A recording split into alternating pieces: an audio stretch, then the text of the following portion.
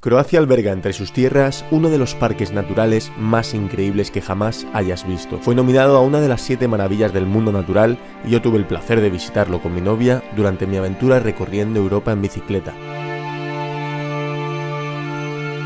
Este es el Parque Natural de Plitvice. Hoy comparto con vosotros todos los detalles de esta experiencia que os dejará sin palabras y os transportará a sus cientos de cascadas y lagos de agua turquesa para que lo viváis en primera persona. Pero antes, volvamos donde lo habíamos dejado. Tras llevar 38 días a los pedales desde que abandoné mi querida España, andaba ahora más cerca de Split en este pequeño récord personal en el que la situación me obligaba a recorrer una distancia de 360 kilómetros en apenas 5 días.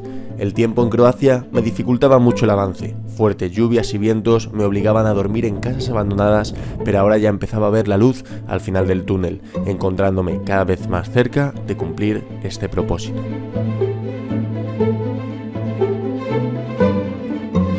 Buenos días, aquí estoy fuera de la casa de Mate, Marco, Ángela y hace bastante viento. Ha dejado de llover por suerte de momento. Y nada, vamos a preparar todas las cosas en la bici. Voy a hacer un arreglillo que le tengo que hacer al portabultos trasero, que ayer vi que estaba suelto. Espera, ¿Qué me he perdido? ¿Quién es Marco? Ángela? ¿De quién estás hablando? Tenéis razón, esta parte no os la he contado. Ayer, tras estar pedaleando todo el día, finalmente llegaba a esta casa y algo en ella me llamó la atención. Un jardín precioso con vistas a la montaña y un señor que tenía cara de muy buena persona. Así que me aventuré a preguntarle si podía plantar la tienda en su jardín y esto fue lo que pasó. Your dad is Marco?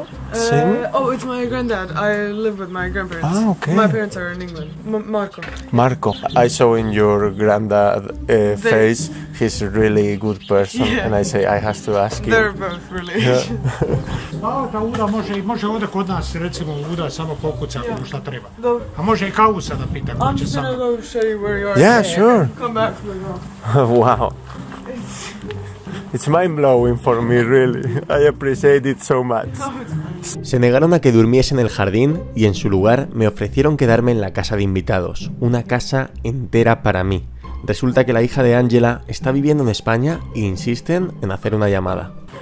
Pues aquí la sorpresa que tu familia son tus padres, imagino, ¿no? Son mis suegros. Ah, son tus suegros. Pues tus suegros les he preguntado si podía, porque estoy viajando en bicicleta desde España hasta Noruega, por el este de Europa. Y les he preguntado si podía plantar la tienda, que está lloviendo y tienen techado. Così me han dicho, vente para casa que te... Pero no eres el tío de Bélgica Sí. andando con bicicleta. Él no quería quedarse, pero igual eh, le hemos eh, le hemos dado agua, lo que necesitaba. Pues nada, hombre, me alegro que hayas encontrado a ellos porque son muy buena gente. Jesi mu rekao kako smo mi već imali jednog biciklista ovdje? Ovdje. Jesam sam rekao A, da je jel? Jedan, ali A, evo, da, da. želi ostati večeras i shvatili to, Je. jel da? Je, je, ostaće. Muchas gracias de corazón, es una pasada. Nada, nada, no te Jesi mu preocupes.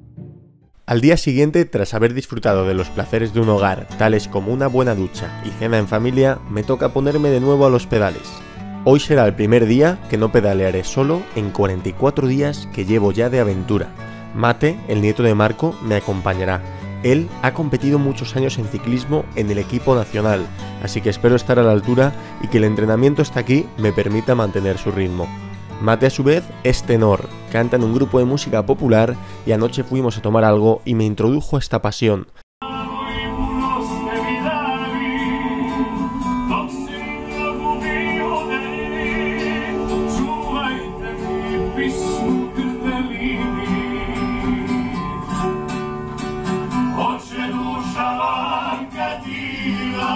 Su vez, también me explicó por qué tienen tan buen inglés los jóvenes de aquí. Es algo que me sorprende si lo comparo con España.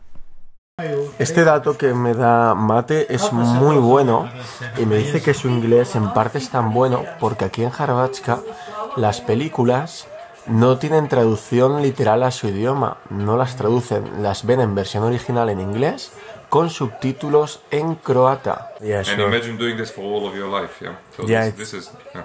but still there is many people here, even my generation, who doesn't speak Yeah. very good English, but Ahora sí, llega la hora de despedirse de esta gran familia que me ha cogido con los brazos abiertos sin conocerlos de nada y poner rumbo a Split al ritmo de los pedales.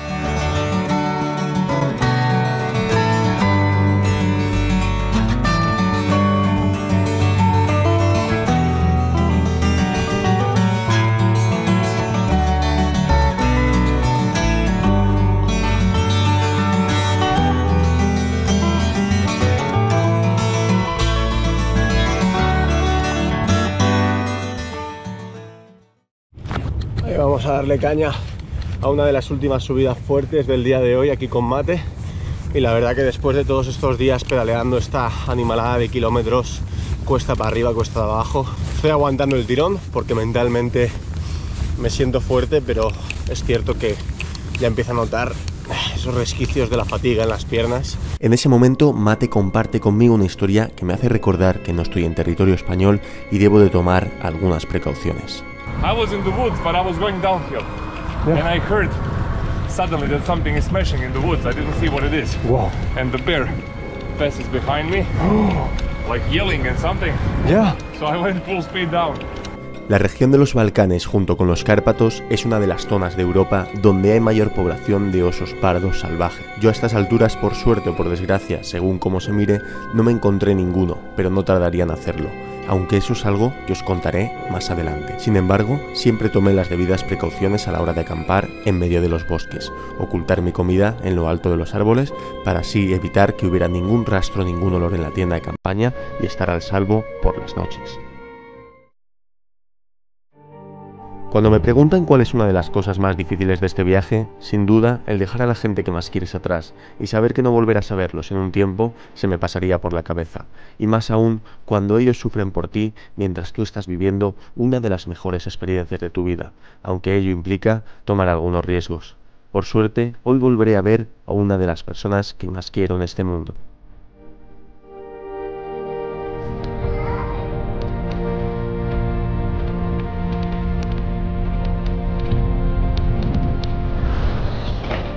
Mm-hmm.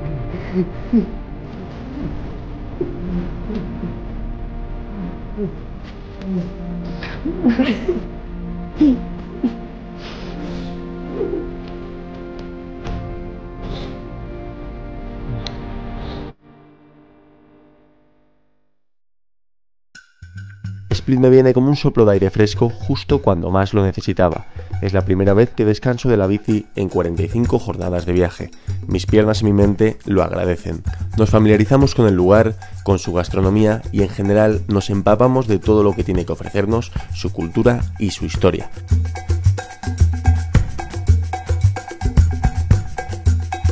Y por supuesto, como buenos fans de Juego de Tronos, fuimos a visitar lugares donde se rodaron algunas de sus escenas. ¿Vale? Fijaros eso, ¿veis? La entrada de los dragones es justo esto. Bueno, para los amantes de Juego de Tronos, me dice Neus que aquí es donde encierran a Daenerys con los dragones. ¿En qué temporada? ¿Cuándo? Temporada 4, pero vamos a confirmar. La temporada 4. Mucho rodaje, tuvo lugar aquí mucho rodaje de la serie de Juego de Tronos, ¿no? Entonces para los amantes como, como nosotros, que al final pues, nos mola bastante, es una pasada. ¡Qué horror! Buenos días. Día 6 de abril, 40, 46 día en la jornada. Nos vamos a Plipice. Bueno, me informan que he dicho 46 día de la jornada. Día Bueno, estamos aquí de camino al autobús que tenemos que coger. De ahí tenemos que ir al aeropuerto, eh, pillar un coche que hemos alquilado. Y desde el aeropuerto tenemos como 280 kilómetros hasta Plitvice. Pero vos- para vosotros van a ser 3 segundos. 1, 2,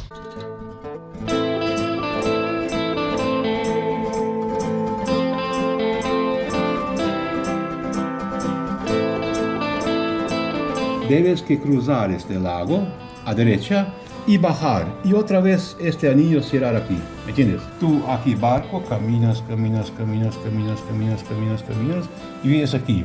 No subes, cruzas y por ese lado bajas otra vez el barco. Otro barco aquí, entonces son cuatro horas máximo. Perfecto. Perfecto. Es así. Así no falta Claro. ni un pedazo aquí, ya no falta ni otro. Muy bien, español, ¿eh? Algo es algo. ¿Cómo lo Sí, sabes? muy bien. ¿no? Eh, mi esposa es peruana. Ah, amigo, muy bien. Sí. ¿Has estado bien, en así Perú? Sí, bueno, en Perú un pedazo de mi vida, pero Oh, qué bueno. eh, un buen pedazo de mi vida yo estaba cruceros. Ostras. donde conocí a mi, mi esposa. Ibiza, muchísimas gracias. Nos vemos después. Nos vemos luego. Si no, manda a los osos. No, no, no, no, no vegetarianos. Eso, hasta luego. Qué casualidad, además, no sé, habrá visto el maletín, claro, que lo lleva así y habrá visto la bandera de España, seguro. Porque de repente estábamos hablando inglés y. Pues aquí lo ves, es que esta gente de los países eslavos es una pasada. Hay un montón de gente políglota. Tienen una facilidad para los idiomas porque desde pequeños han tocado todo. Esta persona sabe cirílico, sabe inglés, sabe español. Eh, ha nacido aquí en Hrvatska, bueno, en Yugoslavia.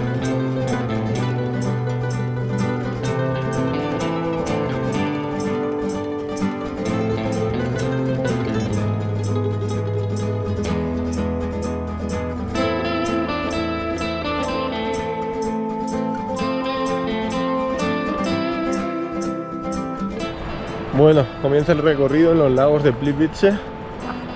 Aquí es donde empieza nuestra aventura, como habéis visto que nos, nos enseñaba Ibiza. Estamos en el barquito P1 y vamos a cruzar ahí a P2, como se puede observar. Pero esto es una pasada. Esto es naturaleza en estado puro. Increíble. El recorrido por los lagos es espectacular. Pasas por un total de 16 lagos que andan superpuestos en cadena y conectados por cascadas y pasarelas de madera.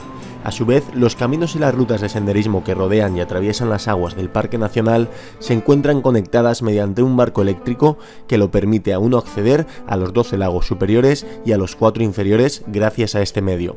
Hay varias opciones a elegir y rutas posibles de mayor o menor duración según el gusto y el tiempo del consumidor.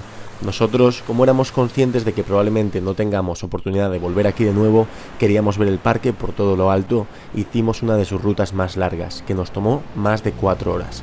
Altamente recomendable dejarte caer por este lugar mágico si visitas Croacia.